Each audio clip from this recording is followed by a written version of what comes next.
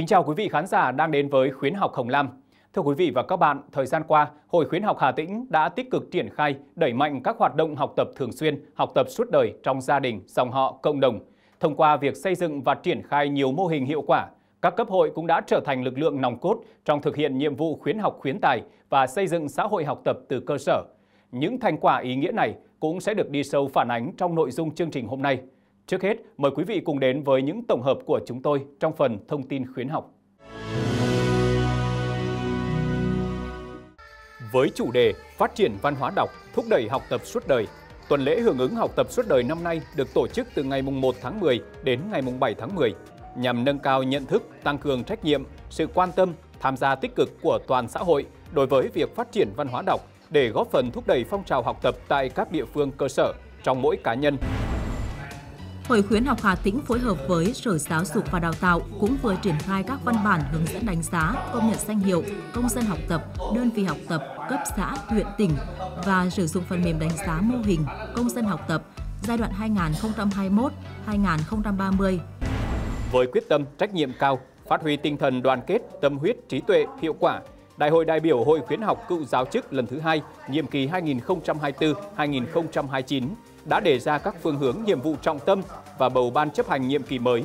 Đây cũng là đơn vị đầu tiên ở cấp huyện hoàn thành sớm nhất việc đại hội khuyến học cựu giáo chức ở cấp cơ sở.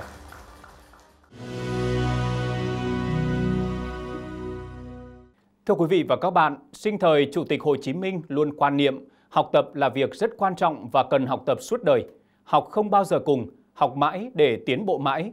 Càng tiến bộ, càng thấy càng phải học thêm và mục tiêu cao nhất của học tập suốt đời là để luôn tiến bộ để phụng sự Tổ quốc, phụng sự nhân dân tốt hơn.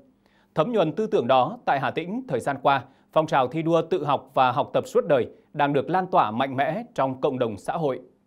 À, tôi à, tên là Đặng Văn ảnh à, thôn Liên Tây Nắng, xã Tùng Lộc. Từ cái gia đình cũng khó khăn, rồi bản thân cũng bị bướn chạy để giúp đỡ gia đình thêm một phần kinh tế. Do đó là cái việc học hành à, bỏ giờ. Bước đầu tôi tham gia vào cái à, chương trình trung học phổ thông năm 20 á, tôi cũng rất bất ngờ bởi vì là bậc con, bậc cháu của tôi cả. Thì có một số à, bạn là nói bác nhiều tuổi đây thì bác tham gia học làm gì nữa. Thì tôi cũng cười và nói là tôi cũng cố gắng bởi vì bác trước học chưa xong.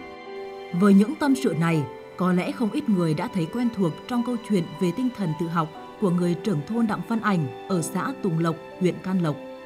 Ông Đỗ tốt nghiệp trung học phổ thông khi đang là một cán bộ xóm đã bước sang cái tuổi 46. Không dừng lại ở đó, hiện nay ông Ảnh đang tiếp tục theo học hệ đào tạo từ xa của Trường Đại học Kinh tế Nghệ An. Mặc dù đảm đương vai trò là trưởng thôn liên tài năng, nay đồng thời là phó chủ tịch hội nông dân xã, công việc bộn bề, nhưng những ngày cuối tuần ông ảnh lại tay bút tay máy miệt mài với bài vở.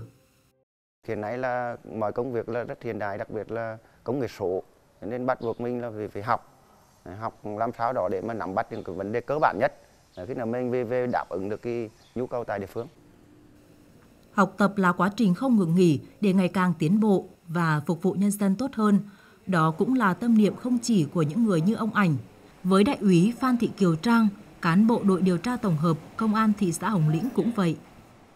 Năm nay, chỉ là đại diện duy nhất của Hà Tĩnh, vinh dự vừa được nhận học bổng Học không bao giờ cùng của Trung ương Hội khuyến học Việt Nam dành cho những tấm gương tiêu biểu trong học tập thường xuyên. Phát huy tinh thần tự học, tự rèn luyện, Kiều Trang luôn nêu cao tinh thần chủ động, tích cực trong việc học tập, nghiên cứu trên nhiều lĩnh vực khác nhau. Bên cạnh các cái kiến thức về uh, chuyên môn để phục vụ cho công tác thì tôi còn quan trọng quan tâm đến những cái kỹ năng khác uh, có thể kể đến như là tuyên truyền phổ biến pháp luật này, giao tiếp ứng xử để làm sao đó là gần dân hơn, hiểu dân hơn và là giúp đỡ họ được trong những trường hợp mà họ cần đến mình. Với hành trình đầy nỗ lực, câu chuyện của ông Đặng Văn Ảnh hay đại úy Phan Thị Kiều Trang và rất nhiều tấm gương tiêu biểu trong cộng đồng đã và đang góp phần lan tỏa tinh thần học, học nữa, học mãi theo tấm gương bác Hồ kính yêu. Mỗi người một lứa tuổi, một hoàn cảnh và môi trường làm việc khác nhau, nhưng tất cả đều ý thức được trách nhiệm của bản thân đối với việc học tập và tự học suốt đời, nhất là trong bối cảnh chuyển đổi số mạnh mẽ như hiện nay. Mọi người đều phải học tập suốt đời. Bởi vì có học tập thì mới có nhận thức. Có học tập thì khi nào mới đổi mới được là trong mọi công việc. Thì học ở đây là uh, trong đời sống hàng ngày học trong thực tiễn. Rồi có những cái phần là là như là uh, máy móc uh, là phải học các cháu cùng cùng là phải phải, phải học. Chúng tôi hiện nay là đang chú trọng để khuyến khích người lớn học tập nhất là phát triển các cái điểm văn hóa bưu điện xã. Thứ hai là tại các nhà văn hóa thôn cũng như tổ dân phố là đều là có tủ sách rồi à, có được trang bị máy tính có kết nối mạng internet đấy là những cái phương tiện hết sức quan trọng à, hết sức quan trọng để để giúp công nhân, giúp người lớn là khai thác cập nhật trí thức và tăng cường cái tính tự học Năm nay với chủ đề Phát triển văn hóa đọc, thúc đẩy học tập suốt đời, tuần lễ hưởng ứng học tập suốt đời tiếp tục được triển khai sôi nổi ở các địa phương với nhiều nội dung thiết thực, linh hoạt, phù hợp. Qua đó, càng lan tỏa tinh thần học tập từ chính các nhân tố tích cực trong xã hội, tạo động lực truyền cảm hứng để người người học tập, nhà nhà học tập, cộng đồng học tập và toàn xã hội cùng học tập.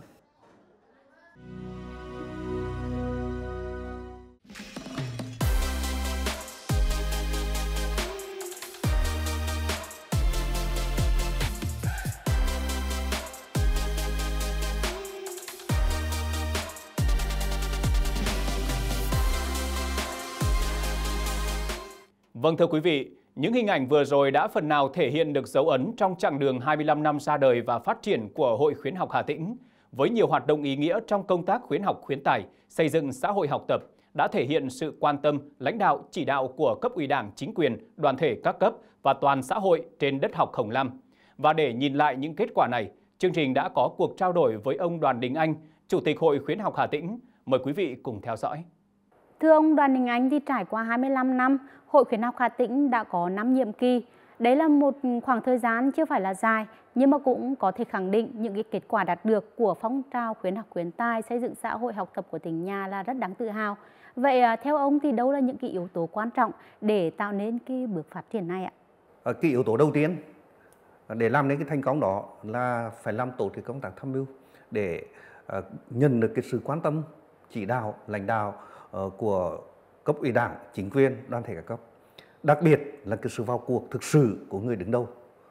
Cái vấn đề thứ hai ấy, là một sự đóng góp không nhỏ của đội ngũ làm công tác khuyến học ờ, ở các cấp, mình nhất là cấp cơ sở, phường, xã, thị trấn. Vấn đề thứ ba là hiếu học và học giỏi là một trong những cái uh, truyền thống của người Hà Tĩnh. Thì bây giờ chúng ta muốn phát huy thì phải khơi dậy cho được cái cái cái cái truyền thống này và từ đó thì thu hút cái sự quan tâm của toàn xã hội đối với công tác khuyến học khuyến tài. Một dấu ấn rõ nét trong phong trào khuyến học tỉnh nhà chúng ta nhiều năm trở lại đây chính là cái sự quan tâm thiết thực, đồng hành để chấp cánh ước mơ cho nhiều hoàn cảnh khó khăn, thể hiện tính nhân văn của truyền thống đất học Hồng Lam. Ông có thể nói rõ hơn về điều này ạ? Tỉnh đã cho thành lập cái quỹ hỗ trợ học sinh đặc biệt khó khăn, ờ, đạt điểm cao vào học đại học. Và từ năm 2021 đến nay, riêng quỹ của tỉnh thì đang hỗ trợ cho khoảng 280 em à, với mức hỗ trợ từ 2 đến 2,5 triệu đồng tháng. Nếu tính cả quỹ cấp huyện nữa thì số hỗ trợ hiện nay là hơn 400 em. Thì không chỉ là sau này tạo điều kiện cho các em thoát khỏi cái hoàn cảnh khó khăn mà còn đào tạo ra một cái đội ngũ lao động chất lượng cao. Trong cái bối cảnh chuyển đổi số đang còn uh, hết sức mạnh mẽ như hiện nay thì các cấp hội thì đã có cái sự thích ứng ra sao ạ? Trước mắt thì thực hiện quyết định 677 xây dựng mô hình công dân học tập thì chúng tôi đang triển khai cái phần mềm quản lý công dân học tập trên trên mạng và để thực hiện được cái này thì mỗi công dân phải thực sự là những người hiểu biết về số mình phải từ vào cái phần mềm đó đăng ký rồi phải từ vào đó từ đánh giá nhận xét và nhân loại do vậy đòi hỏi cán bộ hội khuyến cả cấp là cũng phải thanh hào về về về, về số à, và như năm 2023 thì Hà Tĩnh chúng ta có hơn 400 công dân đăng ký trên trên cái phần mềm này và đứng thứ hai toàn quốc. Do vậy cái điều này cũng là một cái điều hết sức phấn khởi. Vâng, xin được cảm ơn những cái à, chia sẻ của ông Đoàn Đình Anh. Cuộc trao đổi vừa rồi với ông Đoàn Đình Anh, Chủ tịch Hội Khuyến học Hà Tĩnh cũng đã khép lại chương trình Khuyến học Hồng Lam kỳ này. Cảm ơn quý vị và các bạn đã quan tâm theo dõi. Xin kính chào và hẹn gặp lại. Vì lẽ trăm năm ta trồng người